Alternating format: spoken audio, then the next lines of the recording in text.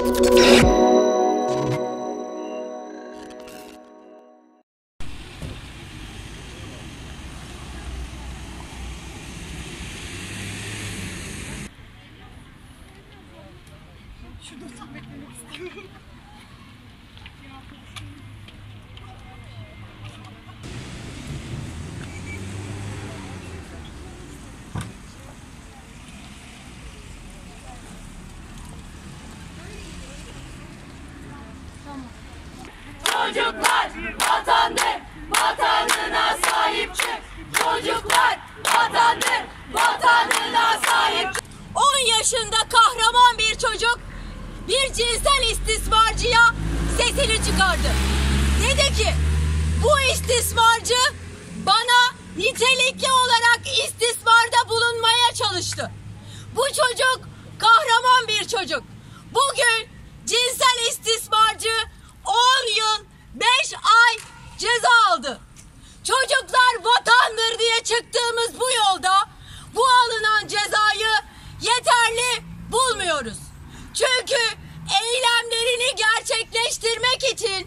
çocuğu bir odaya alıp kapıyı kitlemek suretiyle çocuğa nitelikli olarak cinsel istismarda bulunmaya çalıştı.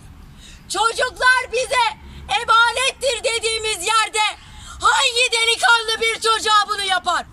Bu hem alçaklık hem namussuzluk. Meclise Adalet Bakanlığı tarafından meclise dördüncü yargı pa- paketi düzenlemesi verildi.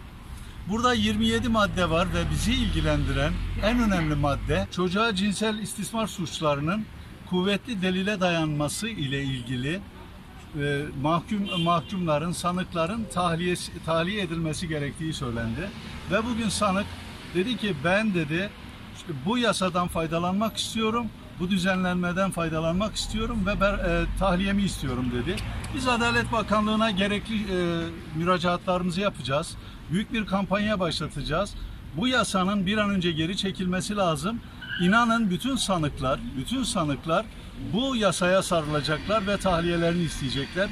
Zaten bunu hepimiz de biliyoruz ki cinsel istismar dediğimiz şey iki kişi arasında geçer ve bu çocukların ifadeleri dışında kolay kolay e, sığınacağımız hiçbir şey yok. Çünkü bunlar kamera kayıtları önünde yapılmıyor. Bunlar bir üçüncü şahıs önünde yapılmıyor. E, istismarcı ve çocuğumuz baş başa. Onun için çocuğun ifadeleri göz önüne alınmalı. Bunun için Adalet Bakanlığı'nda da meclise de sesleniyoruz. Lütfen bu yasaya müsaade etmeyin. Bugün Sakarya Bir Ağır Ceza Mahkemesi'nde uzun zamandır görülmekte olan davada sanık 10 yıl 5 ay hapis cezası almıştır. Ancak bu karar e, biz hukukçuları memnun etmemiştir. Çünkü çocuğumuz tecavüze uğradığını, tecavüzün de zorla bir yere kıstırılarak kendini hürriyetinden yoksun bırakıldığını ifade etmiştir. Kapı kilitlenerek çocuk içeride zorla istismara maruz bırakılmıştır. Ancak heyet tarafından bu yönde beraat kararı verilmiştir. Ayrıca nitelikli istismar söz konusu olmasına rağmen bu yönde de hüküm tesis edilmemiştir. Bu nedenle biz istinafta da takipçisi olacağız. Hatta duruşma olarak takip edeceğiz. Çocuklarımız vatandır. Her zaman yanlarındayız. Çocuklar vatandır, vatanına